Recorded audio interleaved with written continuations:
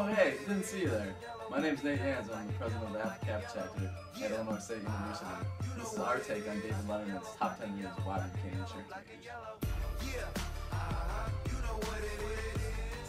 Number 10.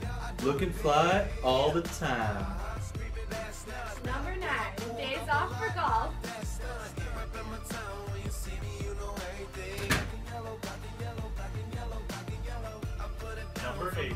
Happy hour every hour. Number seven. I love getting free stuff and free food.